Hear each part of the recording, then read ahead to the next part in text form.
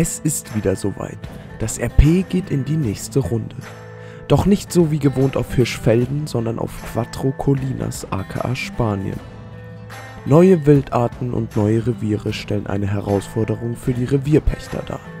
Ob sie es schaffen werden, ihren Abschussplan zu erfüllen, wir werden es sehen.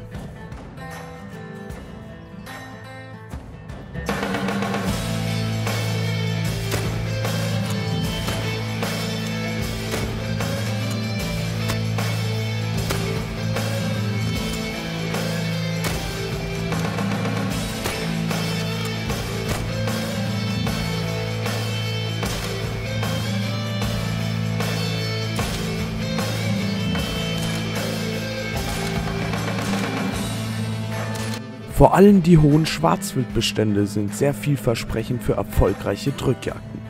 Wer an solch einer teilnehmen will, kann gerne auf unseren TS kommen. Und nun wünsche ich euch sehr viel Spaß beim Begleiten des RPs in den nächsten 30 Tagen auf diesem Kanal.